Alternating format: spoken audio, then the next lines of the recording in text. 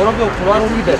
Când iese câte o persoană, atunci intrați și dumneavoastră. Facem fie aglomerat. Încă de la primele ore ale dimineții, sediul Serviciului pentru Imigrări Constanța a fost luat cu asalt de cetățeni străini, dar și de angajatori. Patronii depun și câte 20 de dosare pentru eliberarea permisului de ședere. Lipsa de personal din structura MAI se resimte cel mai mult în această perioadă, fiind unul dintre motivele pentru care se formează cozi. În plus, sunt și mulți cetățeni ucraineni care au fugit din calea războiului și își doresc să obțină un permis de ședere și să se angajeze în România. Burada e, Türkiye'deki şartlar daha buradaki şartlar Türkiye'den daha iyi olduğu için biz buradayız. Yani inşaat işleri yapıyoruz. E, yani burada şu anda mesela çalıştığımız için mesela Türkiye'nin parası şu anda mesela piyat, dünya piyasasına göre az olduğu için yani kıymetsiz olduğu için yani mecburi kalıp burayı tercih ediyoruz. Çalışmak için gelmişiz. Burada çalışıp Türkiye'de çocuklarıma ve aileme bakmak istiyorum. În lipsă de angajați români, antreprenorii se orientează spre personal de pe continentul asiatic din țări precum Bangladesh, Sri Lanka sau Vietnam. Cei mai mulți se angajează în Horeca.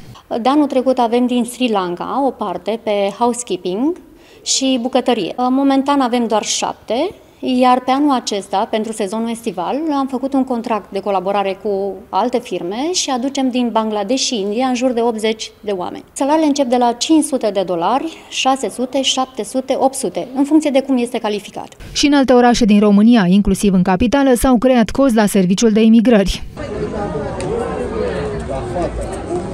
Permisul de ședere se obține depunând o solicitare la autoritățile de imigrare în funcție de reședința din România a cetățeanului străin, a cărui prezență este obligatorie. Permisul se eliberează în termen de 30 de zile de la data depunerii și este valabil un an pentru detașare și lucrător permanent sau doi ani pentru lucrător înalt calificat. Reprezentanții industriei ospitalității cer autorităților să grăbească eliberarea permiselor de muncă pentru muncitori proveniți din afara Uniunii Europene.